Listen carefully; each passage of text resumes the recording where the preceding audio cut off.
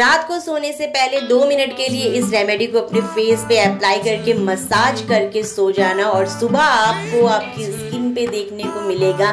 Magic जी हाँ अगर आपके चेहरे की जो स्किन है वो लूज हो रही है तो वो टाइट होने लग जाएगी, चेहरे का कालापन, दाग धब्बे दूर हो जाएँगे, चेहरे की जो स्किन है वो सॉफ्ट और मुलायम होने लग जाएगी, चेहरे के स्किन भी हेल्दी हो जाएगी। तो गाइज़ आज की वीडियो में मैं आप सबके साथ में बहुत ही सिंपल सी रेमेडी शेयर करने वाली हूँ। तो वीडियो को लास्ट तक ज़रूर देखिएगा।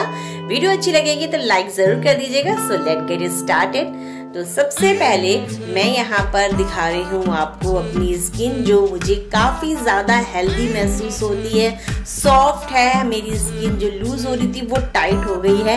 बिकॉज़ इसके पीछे का रीज़न है, ये रेमेडी जो आज मैं आप सबके साथ में शेयर कर रही हूँ गाइस सबसे पहले यहाँ पे मैं ले रही हूँ ग्लिसरीन और आज की रेमेडी सिर्फ़ दो इंग्रेडिएंट्स को मिला के ही बनानी है हमें। और इसके लिए हमें किसी भी बाउल या फिर किसी भी चीज़ की ज़रूरत नहीं है। सोने से पहले आप आपको इस रेमेडी को अपने फेस पे अप्लाई करना है तो आप रोज रात को इस रेमेडी को अपने हाथ पर ही बना सकते हो। क्योंकि एक टाइम के लिए ही बनाओगे तो ज़्यादा बेटर होगा अच्छा रिज़ल्ट देखने को मिलेगा।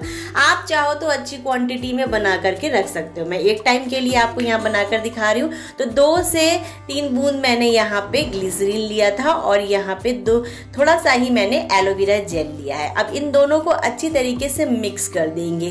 तो देखिए, ये जो एलोवेरा जेल एंड ग्लिसरीन है, ये दोनों रेमेडी हमारी स्किन के लिए काफ़ी ज़्यादा पावरफुल रेमेडी साबित होती है। क्योंकि इन दोनों ही रेमेडी से हमारे चेहरे पे जमी हुई जो गंदगी है, वो रिमूव होती है टैनिंग रिमूव होती है। चेहरे पे चमक आती है, चेहरे का ग्लो बढ़ता है स्किन लूज जो अगर हो रही है तो वो टाइट होने लग जाती है। चेहरे पे सॉफ्टनेस नज़र आती है।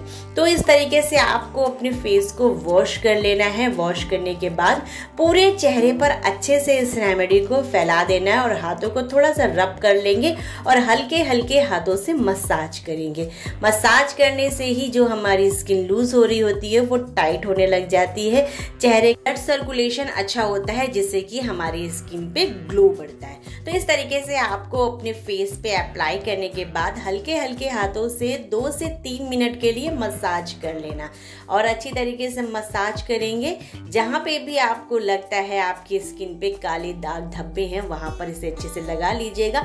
आँखों के आसपास इस तरीके से आपको हल्के हल्के उंगली से मतलब रब करते हुए मसाज करना, जिससे कि आँखों के नीचे अगर जो धब्बे हो रहे होते हैं या फिर सॉइलिंग हो रही होती पफनेस होती है ना आइस की, वो ठीक होने लग जाती है। और इस तरीके से आपको थोड़ा सा मसाज करना, जैसे आप देख रहे हो, मैं कर रही हूँ, इस तरीके से आपको करना है, जिससे कि आपके आँखों के आसपास की जो स्किन है ना, वो टाइट होने लग जाएगी। तो इस तरीके से आपको इस डीआई इस रेमेडी को ट्राई करना और अच्छे रिज़ल्ट पाने के लिए आपको ये रेमेडी को रोज अप्लाई करना और सर्दियों का सीज़न स्टार्ट हो गया ऐसे में हमारी स्किन काफ़ी ज़्यादा रूखी, बेजान हो जाती है।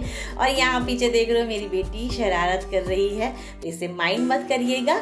और मैं, मुझे तो वीडियो पूरा करना था तो मैं अपनी वीडियो को कंटिन्यू कर रही हूँ। और तो इस तरीके से आपको मसाज कर लेना है। मसाज करने के बाद आप जब इस रेमेडी को अप्लाई करना स्टार्ट करोगे ना तो आपको खुद ब खुद महसूस होगा कि आपकी स्किन काफ़ी ज़्यादा हेल्दी होती चली जा रही है। तो विंटर सीज़न में इस रेमेडी को अप्लाई करने से काफ़ी अच्छे रिज़ल्ट हमें मिलने वाले हैं। तो एक बार ट्राई ज़रूर करिएगा। इस रेमेडी को एंड uh, मुझे और फेस को वॉश करने की अभी ज़रूरत नहीं है। आपको रात भर अपने चेहरे पे लगा के सो जाना। अर्ली मॉर्निंग आपका जो भी रूटीन है उसे आप फॉलो करिए। फेस को नॉर्मल वाटर से वॉश करिए। एंड आप देखोगे आपकी स्किन काफ़ी ज़्यादा हेल्दी होती चली जा रही है। दिन ब दिन आपके चेहरे पर चमक और ग्लो बढ़ता जाएगा। तो इस तरीके से इस रेमेडी को आपको अप्लाई करना सो आई होप आज की वीडियो आपको अच्छी लगी होगी। एंड वीडियो अच्छी लगी होगी तो प्लीज़ वीडियो को लाइक ज़रूर कर दीजिएगा एंड चैनल को कर लीजिएगा सब्सक्राइब क्योंकि इसी तरीके की और भी वीडियोस मैं आप सबके लिए लेकर आती रहती हूँ और बहुत ही सिंपल सी रेमेडी आज मैंने आप सबके साथ में शेयर करी है। सिर्फ़ दो इंग्रेडिएंट्स को मिला के आप अपने चेहरे का ग्लो बढ़ा सकते हैं। सो so, फिर मिलते हैं नेक्स्ट वीडियो में। Till then good bye and take care everybody love you all bye bye